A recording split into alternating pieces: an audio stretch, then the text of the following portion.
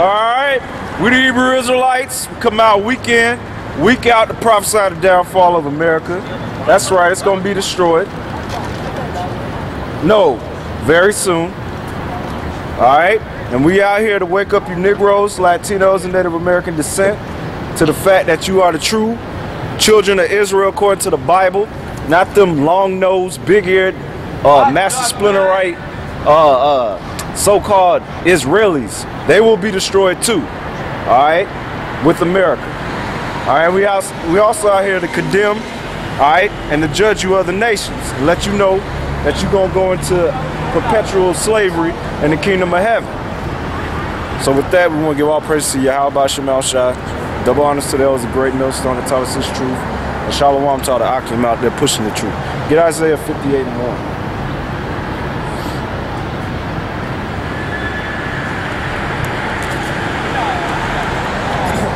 Isaiah chapter 58, verse 1. Yeah. Uh, cry loud, spare not. Yeah, so we out here to cry loud, one, so you can hear us over all this traffic and, and confusion and noise. All right, and we ain't gonna spare people's feelings, man. All right, especially our people, because our people are wicked, man. Keep reading. Cry loud, spare not. Lift up thy voice like a trumpet. Which a trumpet is loud, okay? So we're supposed to lift our voice up like a trumpet. Keep reading. and show my people their transgressions. All right, the Lord's people are the Israelites, the Negroes, Latinos, and Native American descent. Keep reading. And the house of Jacob their sins. And sin is transgression of the laws of the Holy Bible. Get that real quick. All right, because you got what? What is that? Tuesday coming up. All right. Well, all you simple-minded people that really believe that your your peon vote really matters, which it doesn't. All right, you're gonna go and vote. All right, but voting is a sin to you Negroes, Latinos, and Native Americans. Read this. Uh, First John chapter 3, verse 4. And y'all going into slavery, man. All right, and America's gonna be destroyed.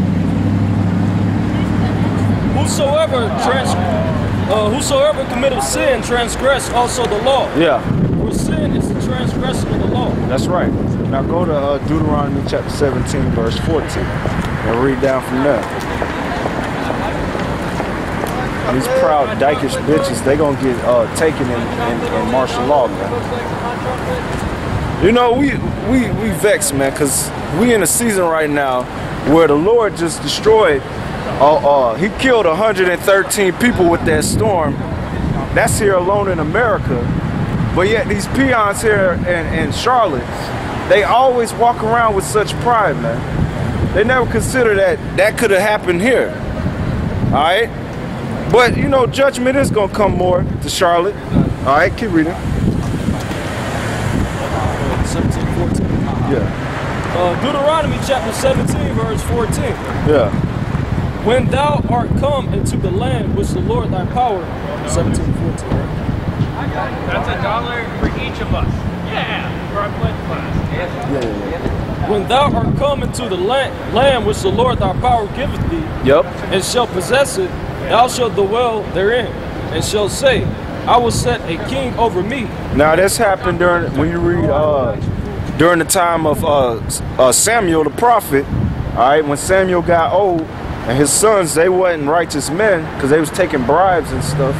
All right, the people got they came to Samuel and said, "Well, we want a king like everybody else," because at that time, uh, the only power we had, well, the king was the Lord. All right. He ruled over us and he will raise up judges and prophets to direct the people. All right?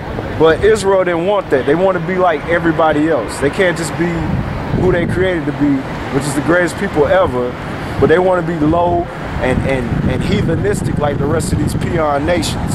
So they asked for a king, which Moses prophesied that they was going to do this, and that was fulfilled during the time of Samuel when they had set up uh, Saul. All right. Keep reading. and shall possess it, and thou shalt dwell therein. Yep. And shall say, I will set a king over me, like as all the nations that are about me. Yeah, because all the nations have kings, all right?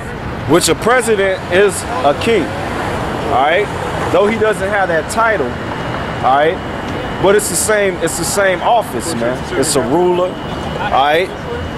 He's in a position where he supposedly calls shots. All right. Therefore, he's set up as a leader to rule the people. Keep reading.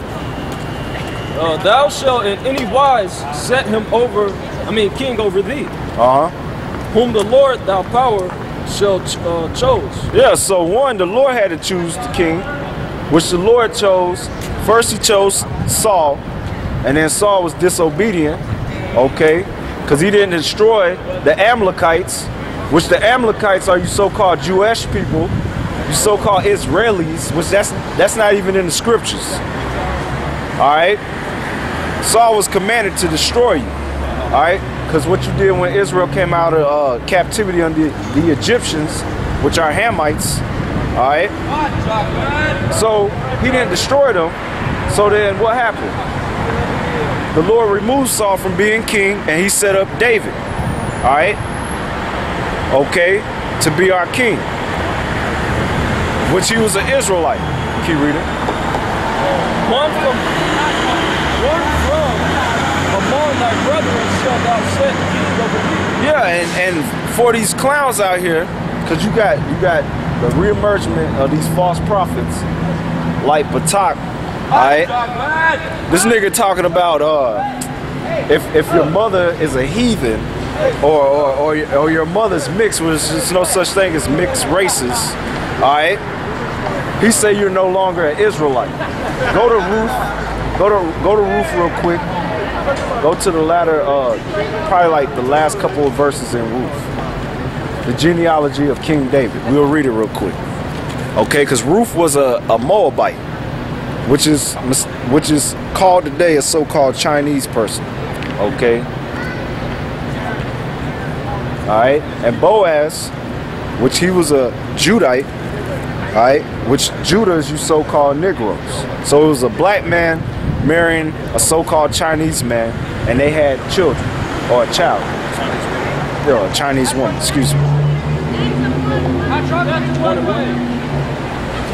Uh, Ruth four, and, and would speak about the genealogies of uh, King David. With the horse. No, of chapter. Yeah, yeah. Sorry, 18 and read out to the. My words. You want me to read? All right. Speak while I get it. Yeah, man. We got people just walking around like every day, everything's normal. The election's about to come up. We don't know who go. We think Obama gonna make it, but Yeah, people just walking around enjoying America, man. You know, like peons. like be. This is Ruth chapter 4, verse 17. And the woman, her neighbors, gave it a name, saying, There is a son born to Naomi, and they called his name Obed. He is the father of Jesse, the father of David. Now, these are the generations of Pharez, which Pharez was one of the sons that uh, Judah had with uh, Tamar. All right, he had Pharez and, and Zerah. Okay, this is of that lineage of Pharez. It says Pharez begot Hezron, and Hezron begot Ram, and Ram begot Amminadab, and Amminadab begot Nahshon, and Nahshon begot Shalom, uh, Salmon, and Salmon begot Boaz. All right, go to Matthew's. Listen, go to Matthew's chapter one. All right.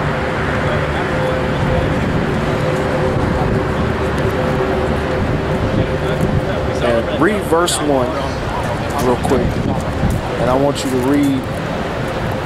Shit, my pages. My Bible's like about to fall apart. Matthew chapter 1, verse 1. Yeah. The book of the generations of, of Yahawashi, the son of David, the son of Abraham. That's right. Now hop to verse five.